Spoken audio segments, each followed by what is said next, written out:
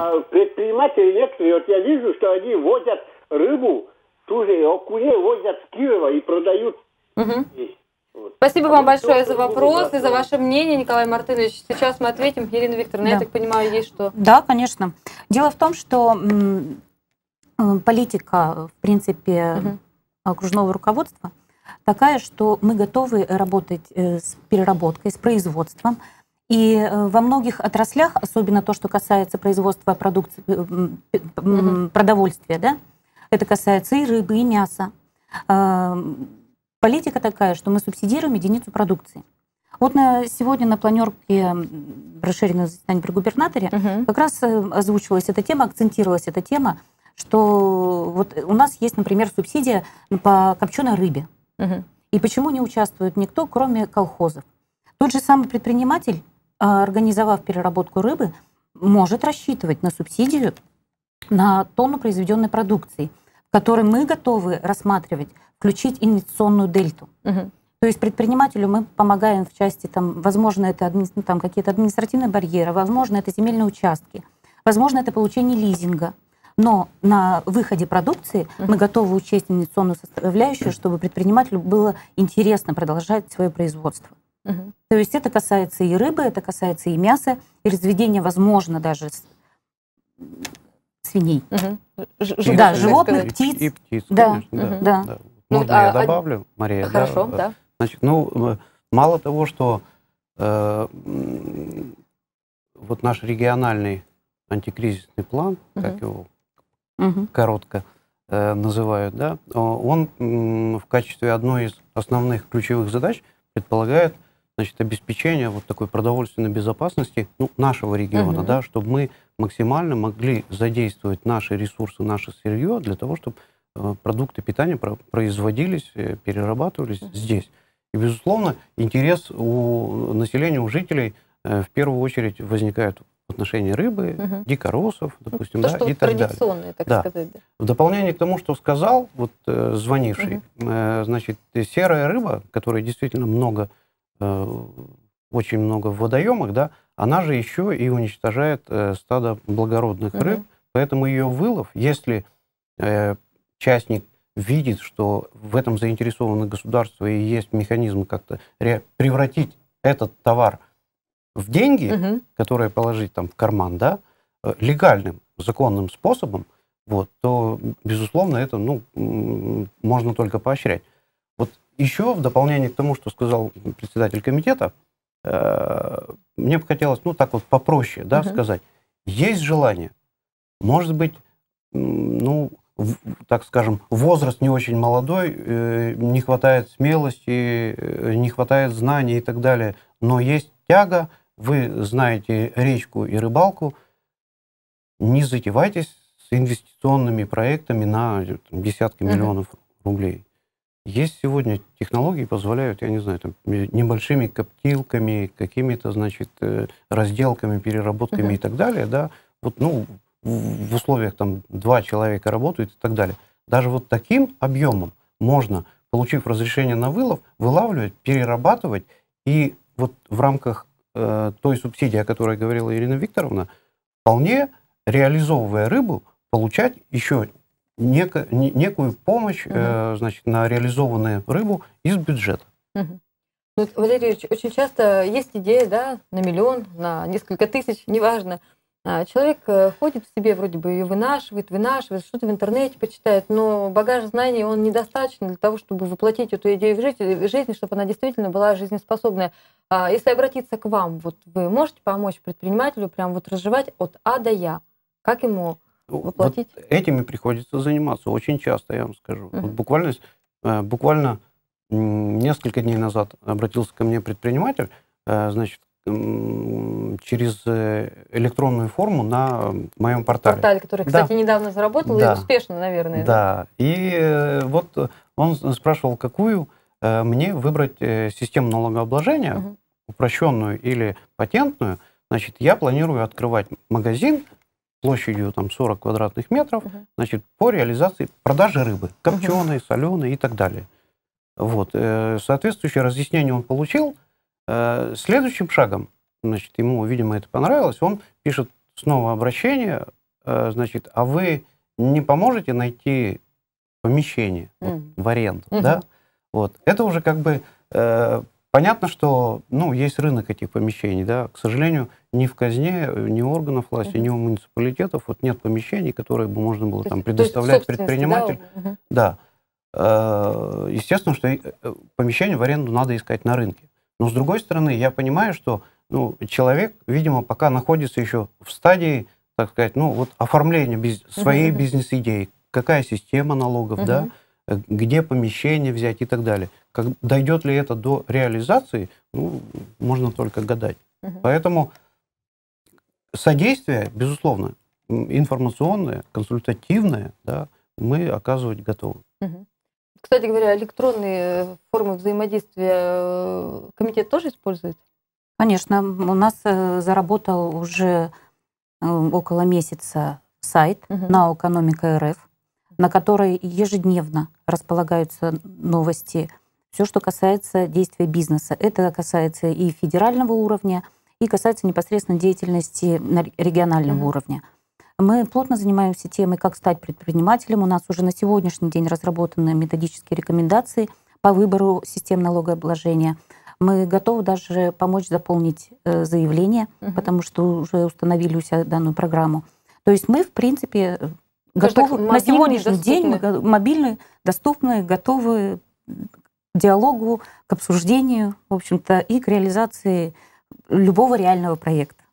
Я напомню, телефон прямого эфира 21145. Это программа «Идея на миллион».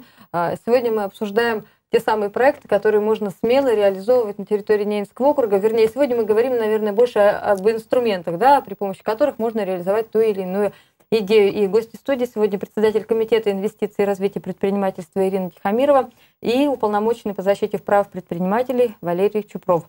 Вот, э, как вы уже сказали, Ирина Викторовна, ранее, что округ сейчас уходит от прямых, так сказать, вливаний да, в развитие бизнеса.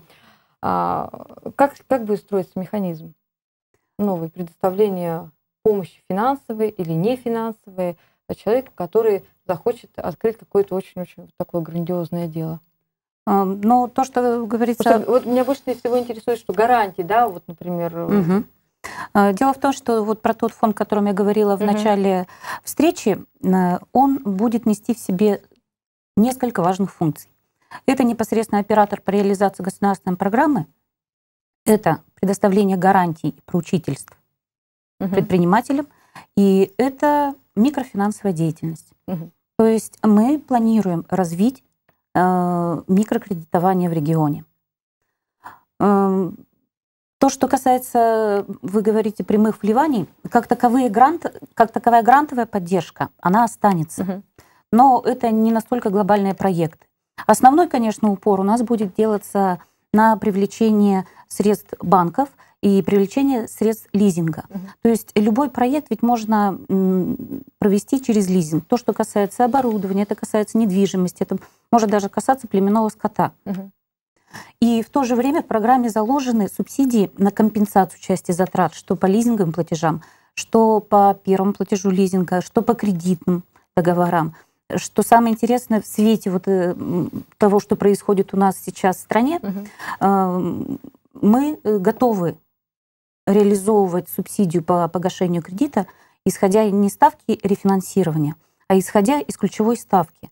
Это уже давно обсуждается и на уровне федерации, и они планируют тоже в антикризисных мерах, они это мероприятие будут Мгм. реализовывать. Сегодня в российской газете тоже об этом было написано. Мгм. То есть, в принципе, если на сегодняшний день ставка э, по кредитам в среднем 27-30%, а ключевая ставка 15%, которую мы Мгм. можем погашать, да, то кредит э, предпринимателю обойдется 15, 15, 12-15%.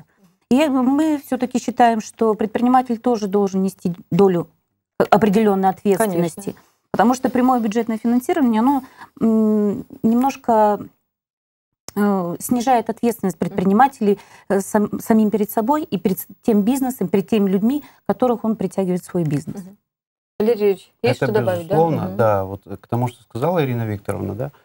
Э, Говоря другими словами, ну вот если у нас есть деньги, да, и у нас, э, слава богу, есть государственный муниципальный сектор, Мгм. то э, нам проще с одной стороны, отдать просто эти деньги в государственный муниципальный сектор, да, Мгм. который нам же и подчиняется, и делать то, что мы, допустим, захотели, да. А, В этом случае предприниматель как бы не имеет преимуществ никаких. Вот. Поэтому, безусловно, должна быть э, ответственность и самого предпринимателя, и доля рисков, безусловно, должна быть на нем. Мы же не удивляемся, когда мы идем в банк за ипотечным кредитом, банк говорит, достань своих 20% или 30% из Мгм. кармана. Мы должны убедиться в том, что ты серьезный человек, и эту сумму ты смог накопить, да? Мгм. Вот ты ее внесешь, тогда мы дадим остальные 80. Тот же самый механизм мы, собственно говоря, воплощаем в нашей региональной программе. Мгм. Если не просто вот лежа на диване возникла идея и пришел и говорит, вот, вот я красивый, хороший, дайте мне и денег, и, значит, там, и так далее, да, так-то не бывает. Мгм. В любом случае, значит, э, должно, должно быть движение от самого предпринимателя, потому что предпринимательство это на самом деле очень тяжелый труд. Де- Деньги ведь просто так не даются. Мгм. И уход от э, прямой, вот такой просто прямой раздачи, его, безусловно, можно только приветствовать. Мгм. Ну, я тоже абсолютно с вами согласна в этом отношении. А, вот люди нас сейчас смотрят, э, внимательно слушают, и смотрят жители села, жители города.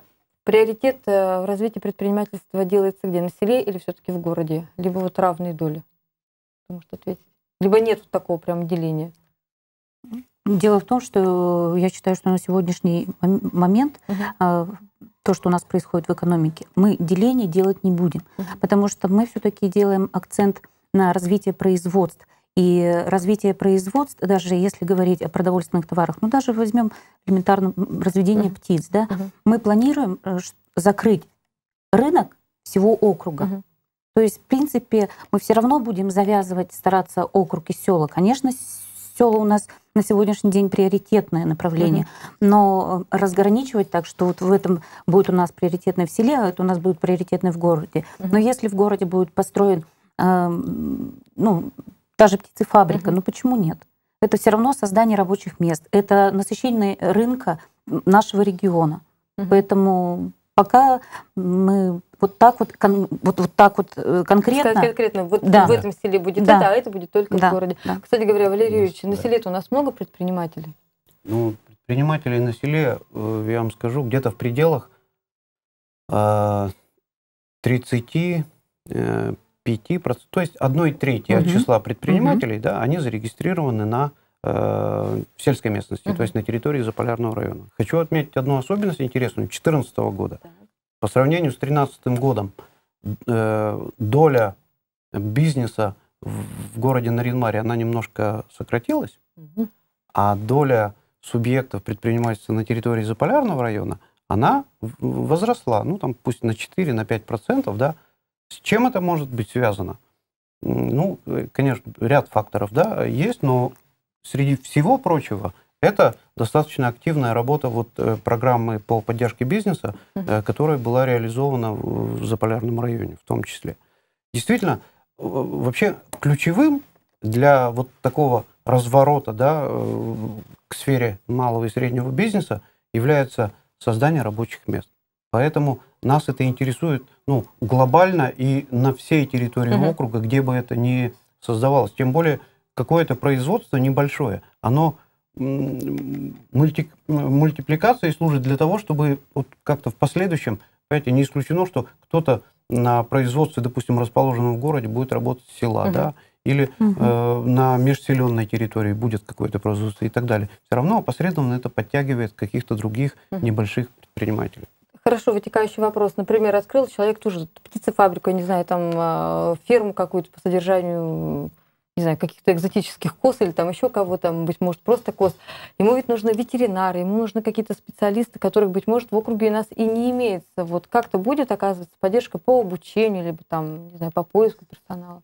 Мы, в принципе, готовы обсуждать да, э, любое направление, то, что касается вот, разрешительных процедур. Да, есть было уже пару обращений, что здесь нет определенных разрешительных лабораторий. Э, Мы готовы работать в этом направлении, чтобы здесь открыть такую лабораторию. Мгм. Опять же, хочу обратить внимание, что в новой программе будет такой вид поддержки, как э, компенсация части затрат на проведение сертификации, лицензирования, аккредитации, получения раз... определенных разрешительных документов. Угу. Потому что это связано не только с сертификацией продовольственной продукции, в том числе, конечно, она будет попадать, но это касается и тех, э, в общем-то, у нас э, в округе нет ни одного авторизированного центра. Угу. Потому что открыть определенную такую организацию, это стоит определенных затрат именно в части получения разрешительных документов. Mm-hmm. Для того, чтобы у нас эти сервисные услуги заработали именно в том качественном и в достаточном объеме, мы заложили вот данный вид поддержки в новую программу.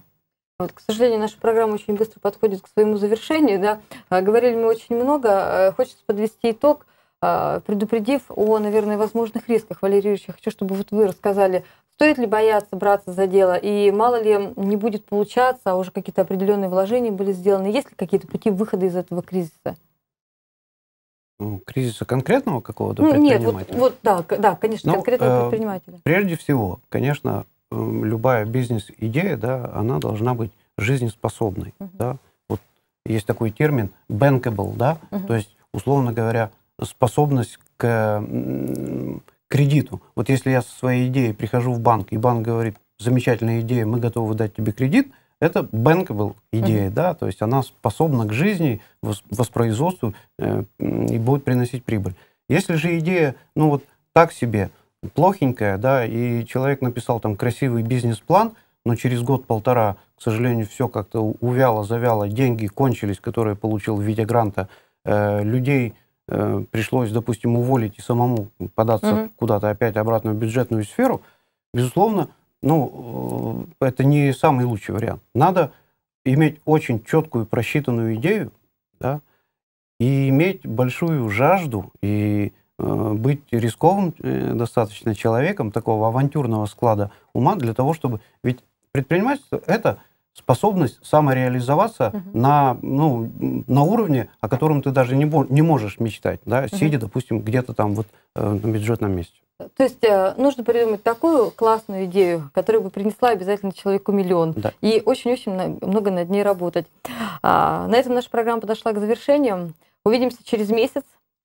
И я предлагаю наших телезрителей подключиться к программе и звонить к нам в редакцию по телефону 49003 и предлагать темы для обсуждения. Быть может, у вас есть конкретная идея, а, которую мы поможем развить прямо в прямом эфире в программе «Идеи на миллион». До встречи, всего доброго. До свидания.